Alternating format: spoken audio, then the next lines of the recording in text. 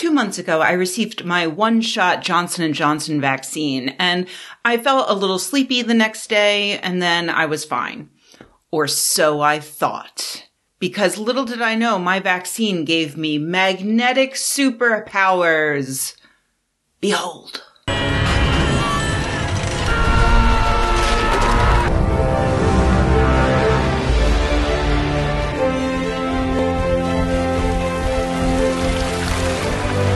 Explain to me why the key sticks to me. Hold on. I thought magnetic superpowers would be way better than this. What, what the shit is this? So yeah, there's this new thing going around where anti-vaccination loons are claiming that COVID-19 vaccines turn you magnetic. And apparently that's a bad thing, I guess. Yes, vaccines do harm people. By the way, so I just found out something when I was on lunch and I wanted to show it to you. We were talking about Dr. Tenpenny's testimony about magnetic vaccine crystals. So this is what I found out. So I have a key and a bobby pin here. Explain to me why the key sticks to me. It sticks to my neck too. I got this. Yeah, so if somebody can explain this, that would be great. Any questions? As a certified ancient skeptical person who has been doing this for way too long, I remember a time when kooks claimed that they were magnetic as a brag. For decades, gurus, prophets, and spiritual healers have shown off their magical properties as proof that they are blessed with great powers. For instance, 10 years ago, the Telegraph published this breathless coverage of a six year old Croatian boy named Ivan who could stick spoons, phones, and frying pans to his body. And 10 years ago, phones were pretty big. So, um, but that's not all. It never is. Um, Ivan was also said to be much stronger than other children his age and is able to carry bags of cement as heavy as 50 pounds. And his family say Ivan has also used his healing hands to alleviate his grandfather's stomach pains and take away the pain of a neighbor who hurt his leg in a tractor accident. So yeah, not, this is definitely not a new phenomenon. Um, so it's quite easy for me to help that nurse out when she requests someone explain what's happening to her because this has already been explained many, many times. The explanation is sebum. Sebum is an oily, waxy substance that's produced by glands under your skin that are like under the hair follicle. It's different from sweat as it's produced by different glands and it has a different job to do, um, like keeping your skin healthy and hydrated. It even has antibacterial and antifungal properties. Um, sebum is mostly concentrated on your face and scalp, but it's found all over your body except for the palms of your hands and the bottoms of your feet. Excess production of sebum is the reason why uh, some people have a lot of acne. Sebum production slows down after your teen years and it causes some other skin conditions. And when you don't wash yourself properly, it's the reason why things, metal or otherwise, can stick to your skin. I took the time to pause my workout yesterday to show you what happens when you produce uh, some sweat and also you haven't washed off the sebum from last night. For people who are prone to magical thinking, this is the kind of thing that they can fool themselves into believing.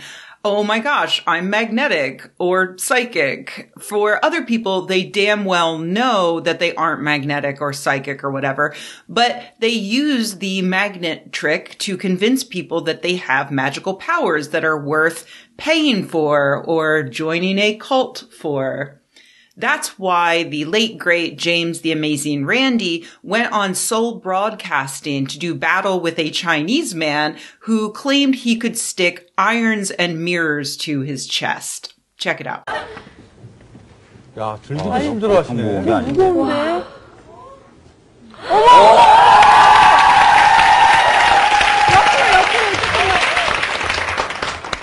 천천히, 천천히, 천천히. 너, 너, 너, 너, 어. 아, 문제 없대요.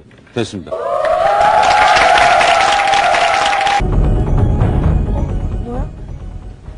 파우더인가? 이거 뭔지 아시겠어요? Вы знаете, каков это? I'm going to ask the challengers to um, put the powder on their hands and on their chests and then make the object stay there. 핸드시켜서 체크하시겠답니다.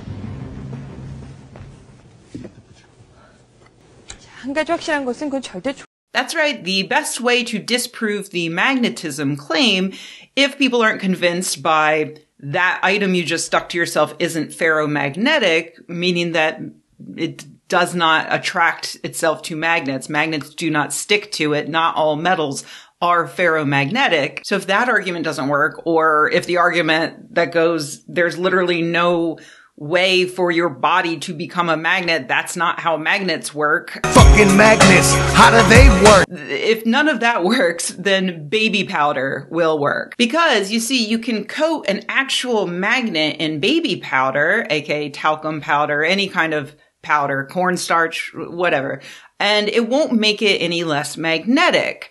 It's such a thin layer that you can still stick it to the refrigerator.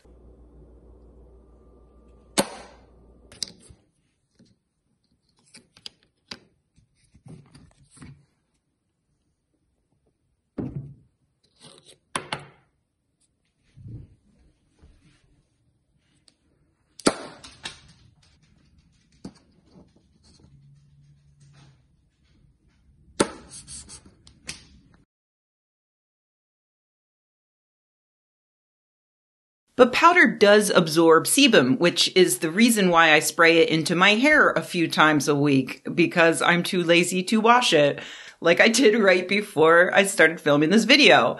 Honestly, if I didn't use dry shampoo, I would have so much sebum in my hair that I could probably stick an iron to my own head if I owned an iron. Look, I have developed an aesthetic that does not require me to wash my hair or remove wrinkles from my clothes. Anyway, I find it very interesting that this carny trick has evolved, not in the way that it's gotten any better or more impressive, but just in that it used to be considered a sign of magical powers, something to be held in awe and respected a way for people living in dire circumstances to maybe get positive media attention and leave their villages to become famous and wealthy gurus. But now, now it's bad, uh, something to be weirded out by, another reason to avoid getting a free life-saving vaccine that will stop a deadly pandemic in its tracks. There's not much new under the sun. Uh, we keep just recycling the same bullshit over and over, but the reason evolves with time. So don't believe it. And if anyone you know is worried about their burgeoning magnetic powers, I was able to pick up this cure from the local grocery store for about $2.